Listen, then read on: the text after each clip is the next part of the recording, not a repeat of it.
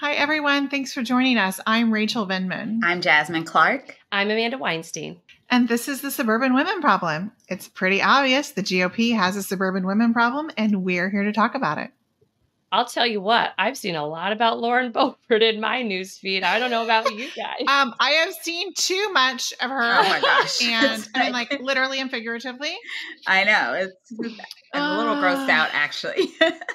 but I also think that it just kind of points to the hypocrisy. I have seen so many people on the right literally twisting themselves into pretzels trying to make this okay while also making everything else bad. And it's like, oh, well, she's a human being and humans make mistakes. I'm like, oh, unless those humans are like anyone that doesn't agree with you, then they need to be burned at the stake. But I, it's also been a masterclass in like just, just how to um, be as dissonant as possible cognitively um, I, I, am I'm, I'm actually kind of impressed. I don't know if that's healthy. Uh, I don't know if that's like a wise thing to, but I just like the calm strategy of like deny, deny, deny. I didn't do that. That didn't happen. Yeah. Oh, oh no, there's a tape. There's video. Okay, I'm I'm gonna go book. Uh, mo- I'm gonna go book the Moms for Liberty yeah. conference. That'll help it. And she oh literally did this, guys. And also, I think she got bangs. And I mean, if you mm. have bangs, that's fine. For me personally, bangs are always a bad idea. Do not get bangs to try to get yourself out of a bad PR incident, I think you will regret it. It's something you should put a lot more thought um, and you know contemplate. Yeah, I don't know that the bangs are going to get her out of um, vaping in front of a pregnant woman who asked her to stop and she wouldn't, or like subjecting everyone around her to just like fondling her boyfriend in public. Like, I don't know that bangs can cover all of that. I, they just aren't long enough to cover that kind of. I'm going to hurt myself rolling my eyes so much, but I I just don't. I mean, there's so much there. Now it comes out that the guy is a Democrat. He has like a gay friendly club and he's hosted drag queen events. Wait, I mean, I it's just all of that. Nothing what? is. I, oh, I know. I didn't know that true. either. yes, he owns a bar in Aspen. Oh. And he has hosted, um, you know, some drag queen events. Um, and which tells you like they don't care. Well, he's a Democrat. I mean, I think it's just like, and hey, good for her. Maybe he'll rub off on her and she'll change her worldview. But I don't think she will because it's all about making money. It's not about true values. And I mean, I think that's the point, though. They're not. Mm-hmm. It's not authentic. Like the feigned, I am so holy and I have these higher morals. It is not authentic. And there's a lot of stuff they claim to care about that they clearly don't when you look at their actions. And I think one of it is this like GOP rebranding about oh my gosh pro baby and like pro woman by doing these things. Like they don't actually care about babies or women in, in Ohio. It's all about they're protecting women by denying healthcare access.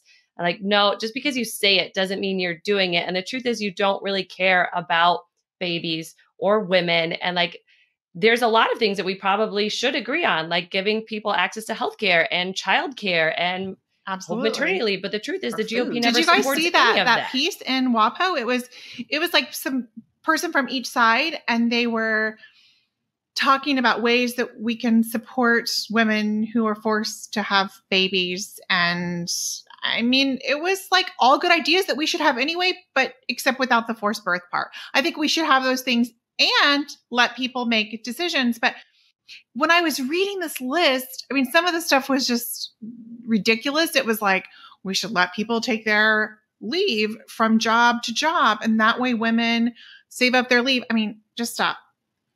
If you are a young teenage mother, I'm going to just go ahead and guess that you don't have leave from yeah any leave any leave. Um right. yeah, that's no. like yes. yeah, and then nope. you know, so there, but also other people don't have that because we don't even have basic worker protections that allow these things. I mean, exactly. It's so like tell me you don't understand without telling me you don't understand because it's like to come from that point from either side is just so out of touch. And also, why don't we have those things anyway? Why why is that not just completely basic? So it was depressing to me to read the piece because it was like, oh, we these are very basic things that exist in other countries and we don't even have this but it's just so misguided because the the basis the foundation of it is hey if we're going to force people to give birth and to me i'm like yeah that's the problem. Like none of the other things that you're talking about the solutions that you are proposing are awesome by themselves but the problem isn't like the problem isn't that. The problem is the forced birth. And so that's why you amanda you talked about the rebranding and i went on msnbc and uh, talked about this with alicia uh, menendez and we had this conversation and i'm just like you know you can call it whatever the freak you want to call it. You can call it banana pudding for all I care. It's not about what you call it, it's about what you're doing. And mm-hmm. honestly, calling anything pro baby when it comes to GOP is laughable because they genuinely do not give a damn about these babies once they are born.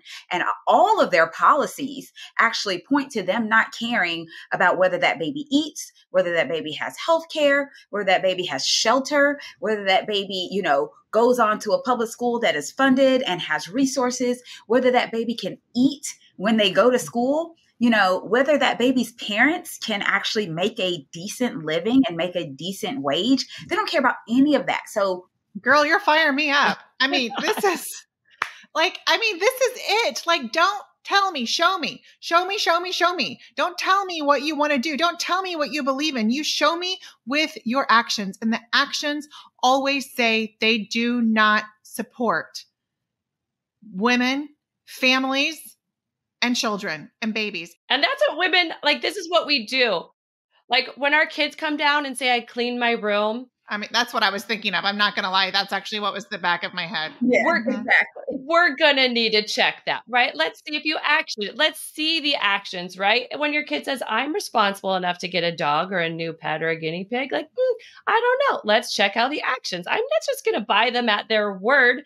Like, I am not going to buy the GOP at the word of, oh, I support babies. I support women. Like, hmm, let's go see. Nope, room's still dirty. It was Ronald Reagan who said, trust but verify. He said it in Russian, and I can't remember how to say it in Russian, so I'm not going to try.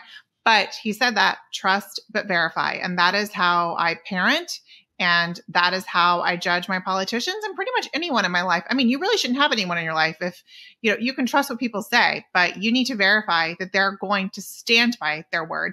And the right. execution and the following through is a really important thing. And I mean, that's just not what we see. And that's why it matters the Lauren Boebert to the world, their actual behavior and the way that they exactly. carry out their lives, because the way they will be in the small things when they're going to a musical, when they think no one is watching and no one cares, will be how they govern and how they represent. Absolutely. I think, uh, you know, at the end of the day, yes, trust but verify. I also think it's just important for people to realize that women are not stupid. And I really think that this rebranding is a way of saying, oh, if we just call it that, then women are stupid enough to believe it without us ever actually having to follow through. And I'm like, we're not idiots. We are not idiots. We see what you're doing and we can vote accordingly and so you can call it like i said you call it whatever you want but uh, you know your rebranding isn't going to work. I you know we can still smell the crap even if you even if you cover it with something pretty like a flower